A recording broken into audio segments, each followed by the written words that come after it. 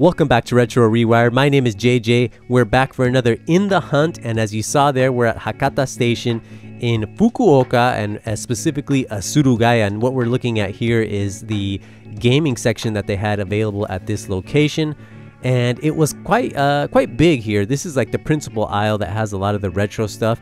And I guess we're gonna start here at the end at the at the display case, the showcase, and let's just get it underway. Um, pretty fun coming here to this shop.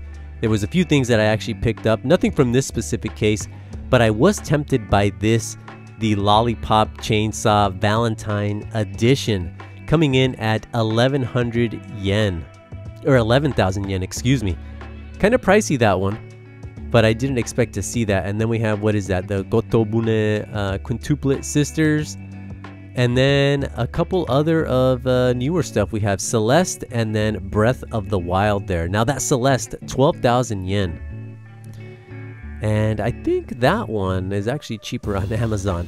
But we have uh, Metroid uh, Samus Returns, a special edition coming in at 12,000 yen. I actually would love to pick up a copy of that perhaps sometime soon. And then there's the Giana Sisters DS for 9,500. But anyhow, let's just go ahead and make our way down the main aisle here that we just walked through. We have some Wii games, some DS games, 3DS games.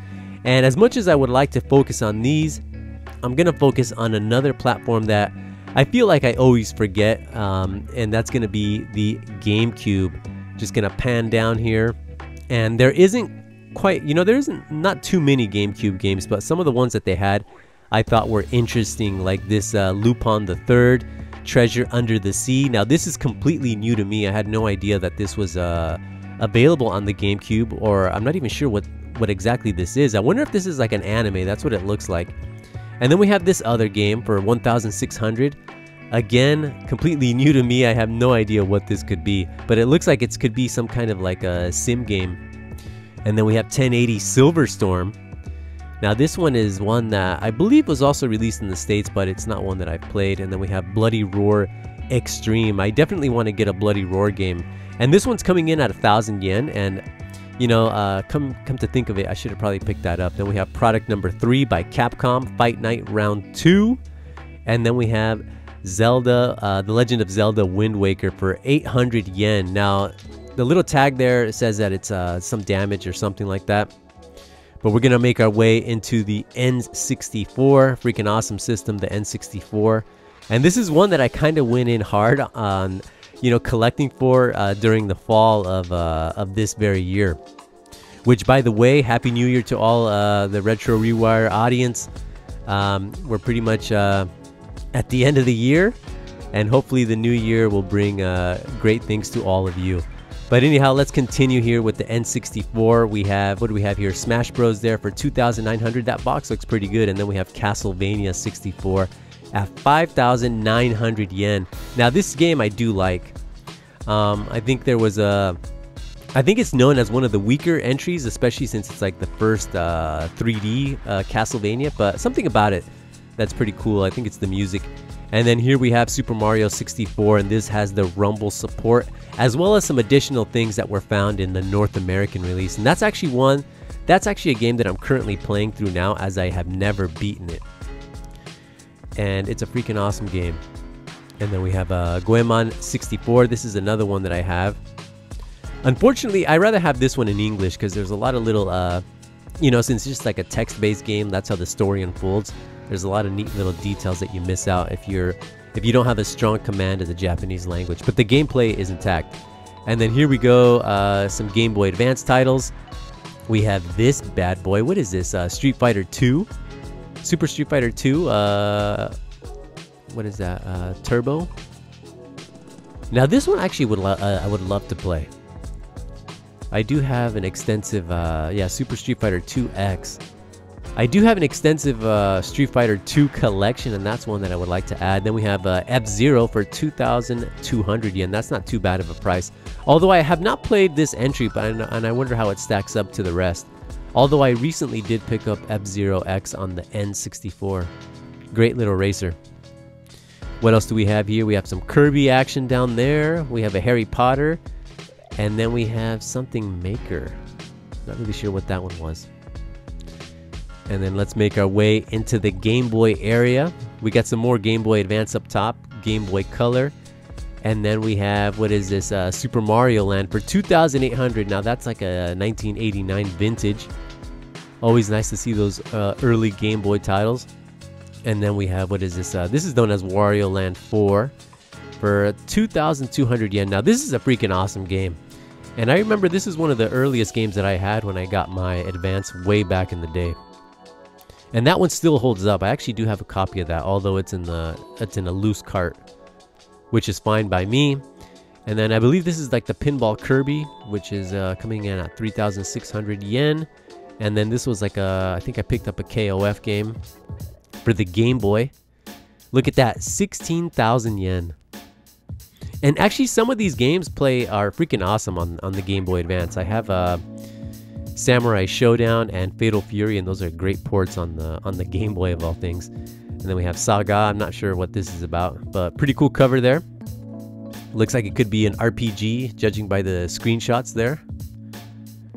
What else do we have here? We have another Kirby. I think this is another pinball game for 2,500.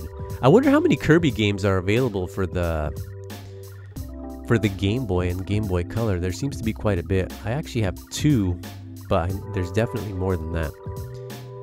And then in the bottom we have Wario Land 3. Now I also have this game and uh, coming in at 2,200 yen. Although I haven't given it much much attention, but hopefully one day I'll be able to just sit down and just plow through it. Alrighty, here what do we have? We have the loose carts. No manuals, no nothing, just uh, either a loose HuCard, disk system game, or cartridge. What else do we have? What do we got here? Now this this is where the time goes, you know, just kind of browsing through all the, the little peg hooks. We have uh, Bonk's Adventure for 1,700 yen, and that's a that's a little bit on the pricier side for Game Boy games, or at least like in the mid the mid range, especially for a loose cart. And then we have Kirby 64 for 350, and Doom 64 for 2,100 yen. That's not too bad of a price there for for that game. Freaking awesome game. I have it for the Switch as well as for the N64. Then we have Turok for 800 yen. I should have picked that up. That was a that was a pretty cool game. It's been years since I've played it. I think I still have the the Turok comic books too. And then we have uh, Bonk on the old PC Engine for 2,200 yen. That's not too bad of a price considering it's a lot more uh, incomplete. And then here we have 2,600 for its sequel. Bonk. The Bonk games are pretty fun. And then we got the disc system games there. And then Game Gear games. And then we have some Sega Genesis or Sega Mega Drive as it's known in Japan. Got some more over here. What do we have? Air Drifter. That's some pretty cool uh, font there. And then we got a Sonic game for the Game Gear coming in at 1,600 yen. And then that's just gonna segue right into the PC Engine games with a with a little bit of Neo Geo CD games. Oh man, the PC Engine. That's another system that I went in uh, pretty hard uh, this year, and the Neo Geo CD. My goodness. But here's Bonk, uh, complete in the in the box for 6,900 yen, 2,000. What was it? 2,200 yen uh, loose. Then we have Tiger Road for 4,000 yen by Capcom. And another Capcom here, uh, Capcom game here, uh, Champion Edition Street Fighter 2. And this is one that I will pick up sooner or later.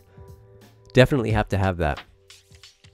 It, it'll it'll go well with the other Street Fighter 2 uh, versions that I have. And then we have Tiger Heli here for 3,000 yen, which that is a freaking amazing cover. Freaking love that cover for Tiger Heli. And then this here is a demo disc. Uh, and it looks like Bonk 3 was one of the playable uh, demo discs or demos on the on the disc there. Pretty cool to see that, especially if you're a collector of all things PC Engine. And then what do we have here? I have no idea what that is, but that cover is awesome. That kind of reminds me of Appleseed.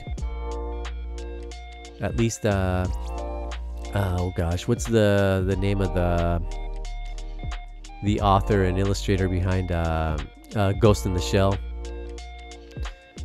That's what that reminds me of. John a blank, but anyhow. Keep the show moving here. And then look at this R-Type 1 and 2. Freaking love those covers as well. And then we have, uh, what is this? Uh, Genpei and the, the Genji and the Heisei clans. And then we have Dragon Saber for 5,000 yen. One day I'll pick that up. And then let's make our way into the bottom half. We got a few 3DO games here. Super Street Fighter 2X, that's a great game. Super something. This looks like it's a, a not quite adult rated. I think it has like a 16 and older rating.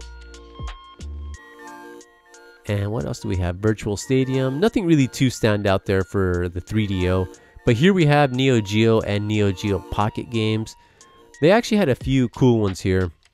Nothing that I ended up picking up, but King of Fighters 99, 7,800 yen. That's not too bad. We have the King of King of Monsters 2 for 7,100. Again, not too bad. Sonic Wings 3 for 6,900. And then we have Fatal Fury 2 for 6,800. Can't believe that's a, a, pricey game. And then here we have Special Garou for 2,400 yen. That's a freaking awesome game. Some of these games I do want, but I rather have them in the in the AES flavor. What else do we have here? Make our way on to uh, into the next section here. And uh, yeah, back back to the PC Engine, but this is the the PC Engine ROM ROM. We have uh, Gradius, Gradius, Gradius. Who knows how you pronounce that? But here's another interesting game. Pretty cool cover there, coming in at 2,300 yen. That could be uh, an RPG. That's my guess, anyways. And then we have Valis here for 5,800 yen. And then here, just making my my little cameo as we make our way into the PlayStation section. Now, half of this half of this aisle here is just PS2 and PS1 games, and that's where we're gonna we're gonna head right into the PS1 games. Um, but look at this Maximo for the PS2. That one I saw right away. I used to have that game. I had the North American version and I beat it. Freaking awesome game. A great follow up to the Makai Mura series. And then this here, this game I actually picked up, which is Vampire Hunter D for the PS1, and it was mainly because of the cover, not not not really because of the game itself. I haven't played it before, and I haven't really heard great things about it, but that was just mainly for the cover. Maybe I'll frame it. I don't know. And we have uh, Dynasty Warriors for 4,600, and then we have another um, um, Bloody Roar game here. This is 4,200, and I believe this is part four. I could be wrong, but I believe that's uh, part four. Man, oh man, I definitely want to pick up a or part two. Look at that, way off. But I definitely would like to pick up a Bloody Roar game. I've only played it uh, the a handful of times, and I can't even remember which one which one I played. And what do we have here? Oh, this is uh, Toshinden. This is like uh like I think this was like the last release in the Toshinden series. Yeah, what is that? Toshinden Sub Subaru, something like that. I wonder how this one is. Part three was kind of like eh. I think the the series topped out with part two. Then we have Vigilante 8 second uh, second offense or second battle freaking love this game, and I, I have it on uh, the Sega Dreamcast, and that's the one that I ended up uh, uh, playing back in the day. But the PlayStation version is no slouch, and I believe it's also available on the N64. But a lot of PlayStation 1 games, a lot of good stuff. Uh, definitely, they had a lot more than I was able to show. You can easily spend um, quite a bit of time here. Look at this awesome cover to Lunar uh, Eternal Blue for 3,200 yen. Freaking love that cover. And then we have Macross Do You Remember Love for 5,200 yen. This is also available on the Sega Saturn, but I definitely love the, the PlayStation 1 um, cover art more. And then we have, what is this? Uh, Image Fight and X Multiply for 8,500 yen for the PS1, which that seems to be a little bit lower price than what I'm normally uh, used to seeing it. But look at that, two great shooters by Irem And then here we go back to the Vampire Hunter D, 1,700 yen. And it, it seems to be like I did play like the initial uh the initial uh intro bit and it seems to play out like a. and look at that there's the the other cover. Same game just a different release, but it kind of plays like an RE game. Then we have Gekyo. I believe that's a shooter also available in the States. And look at this, a North American version game, Syphon Filter 3 for 2,500 yen. Oh man, oh man. I've never actually played any of the games in the in the Syphon Filter series. Then we have R-Types, freaking love this game. And this collection is great too, coming in at 5,100 yen. And then we have uh, Parodius, and I'm not sure what that is. That looks like to be like some shmup maker. And then uh, Star Sions. I have no idea. Crazy Ivan. This is also available on the on the Sega Saturn. Now this was like a first-person shooter, and I believe it also got a sequel. Haven't played these, but I remember reading about it in a Game Fan magazine. Then we have Ace Combat, the first one, and then here's the collection to uh, the Taito shmups and then Raiden Project there. That's another great game. It includes part one and two, and it has full uh, vertical or tate mode enabled. Now we're gonna make our way into the PlayStation 2, and look at this Virtual Fighter 10th anniversary. Now, for some reason, this one seems a bit different. I think uh, the one I have has a different character. And then here's part two for 3,600 yen. I wonder how that one is. But going back to the 10th anniversary, um, I haven't seen this variant. I forget who's on the cover of the one that I have. I think it's Akira. All sorts of great stuff here too. Here we have uh, Curse of Darkness, Castlevania, for 3,900 yen. I definitely want to pick this up uh, sometime just to round out the the Castlevania uh, collection of games that I have going. And then again, Maximo for 700 yen. Look at that cover art, freaking amazing. I did have a, a, great time with this game, and I actually had this game in my hand for quite some time, but I ended up leaving it because I beat it. I did everything that I wanted to do years ago, and, and I'm not going to replay it. There's just so much that I have going on. And this looks like an interesting game, like some kind of survival horror game or something like that. Just judging by the vibe of the picture there. Or it could be a mystery game. Oops. Put that back, nothing happened. But yeah, kind of an interesting cover there. And what else we have here? Anyhow, I guess we'll make our way into a display case. Now, this one was actually up front near the cash register. And look at this PlayStation 5s. We have the digital editions. Two of them there for about almost uh, 7,000 yen. But anyhow, for the next episode, we're going to continue here. We're going to take a look at Sega Saturn, uh, the Pippin even. Uh, that was kind of interesting to see. And then the retro display case, both games and hardware. Anyhow, my name is JJ. I hope you enjoyed this episode, and I hope to see you all very, very soon. Ciao.